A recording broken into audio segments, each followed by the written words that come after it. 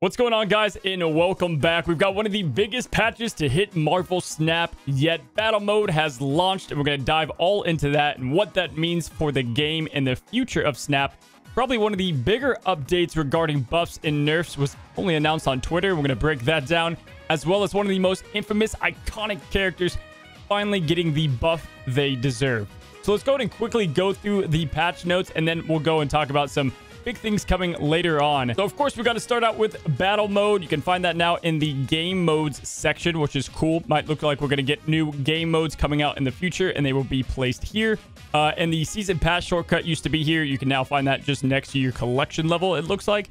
Uh, but all you have to do is click friendly battle here, and it's as easy as creating a match and joining one. This is extremely easy. All you have to do is sit here, press create. Your code is going to get generated, and then you're ready to battle against uh, your friends and whoever that might be. Now, again, battle mode, absolutely huge. Great for competitive play. Great to test decks for you guys. But as far as this community goes, I have a huge announcement later in the week, but it does involve massive tournaments that you guys can participate in.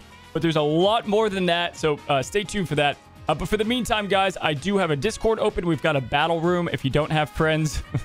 or you don't have anyone uh, that you can challenge immediately, or you want to test out some meme deck versus another player. People are already going at it right now. I'll be joining in there later tonight to take some of you guys down. Uh, and again, I'll be making my return to live streaming later, earlier, probably next week. So let's go ahead and hop into the buffs and nerfs. Uh, very few, but some massive changes. Now, before we get to the main buffs and nerfs of this patch, in my opinion, we have a tweet here that's uh, pretty damn important. Glenn Jones is the principal game designer for Marvel Snap, uh, and he let us know that Surfer, Zabu, they're on the watch list. And by the watch list, that means they're going to get nerfed in the coming weeks, which is definitely important. Uh, but more important than that, guys, they now have the ability to not wait for a patch that really just happens once a month. They can now buff and nerf and adjust cards on the fly, and this is absolutely massive.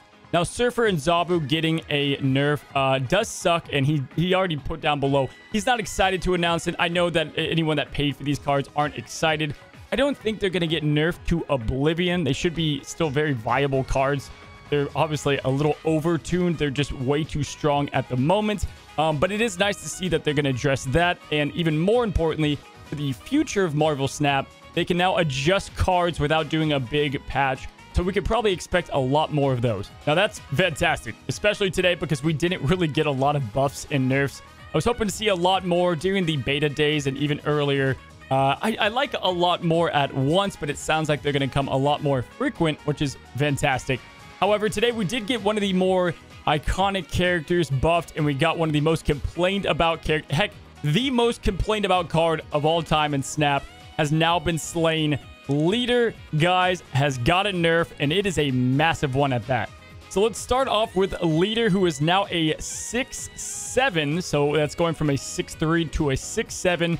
And instead of copying all cards that your opponent played that turn, he is now going to copy all cards your opponent played to the location right of here, but on your side. Talk about neutering a car to the fullest. Now, uh, essentially, the only place I see leader being played now is if you can block up the left lane uh, early, like clog that up, and then maybe you can force them to be playing in that right location, but you also, you know, have to be playing leader. So if you're slightly winning the middle, then maybe he's a decent play, you know, to add seven power to.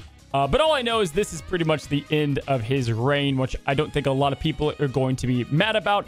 Uh, I will say I don't want to see cars completely neutered like this a lot in this uprising with pitchforks of complaints. But Leader definitely uh, was justified and definitely one that uh, people wanted to see, and it just wasn't a very fun card, albeit the worst card to lose to in Marvel Snap. So hopefully you Leader enjoyers uh, had your fun because he is definitely going to be losing his play quite significantly. Uh, albeit I was seeing him a lot less anyway, but now uh, you will be seeing him way less. But way more exciting than that, Wolverine here has finally got the buff he so rightfully deserved. They admitted it. He's way too much of an iconic character to be so underplayed. Now, this is absolutely a huge buff to Wolverine for a couple of reasons uh, that has me excited. Let's start with new players, guys. Wolverine is a card that you get very early on, but you don't want to play him because he's not a good card. Uh, but now you can have kind of destroy decks starting to work from even even pool one, uh, which is extremely exciting. Uh, and he's kind of like a Deadpool, right? In a sense, instead of doubling his power, he only gets plus two. Uh, but whenever he is discarded or destroyed, he's going to regenerate, which is, you know, I'm glad they added that, to a random location with plus two power. Now, this is going to be, you know, intact because you don't get to pick the location that he necessarily goes to. Uh, but this is huge for destroy decks. I know I'll be playing them a lot more for early destroy decks. And uh, we're definitely going to have a Wolverine video in uh, probably next if I had to guess. And then even discard decks, you can get plus two. Uh, so Lockjaw discard, we might see him kind of been played in that archetype as well. And then personally, if you guys haven't seen my huge Galactus guide, already a great card to put with Galactus and only going to be better as you can now buff him up over the course of the battle, send him to the lane that you want, and uh, they just kind of nerfed Galactus, but now he's buffed again with Wolverine being way stronger. So um, you know, they said they buffed one of the most iconic characters. I guess who gives a damn about this guy? Now, outside of that, the only other two things is we've got Zabu added to Series 5 in the token shop. So if you don't uh, spend on Marvel Snap and you did not get the Season Pass, Zabu is available for tokens. Uh, albeit they are going to adjust him, so I would probably hold off on grabbing him myself. Uh, and also, you can go ahead and change your name in the avatar menu. This is probably big for a lot of you guys who thought they were going to play Marvel Snap for a hot minute and they're still playing it months later and your name's like, I don't know, uh, like cool spaghetti, whatever it might be, you can now change it every 30 days, which is fantastic. Now, this is just the beginning of some big content changes on this channel, guys. Uh, not only in def guides, but a massive change in the way that I do content. And then again, a really big announcement that I can't say anything yet, but I've been working on for months, and that'll be coming later this week. If you guys want to follow along and if you want to challenge me in battle mode, be sure to go and check the Discord down below. I'm going to have another video out probably later tonight, if not first thing in the morning. And until the next one, guys, happy snapping.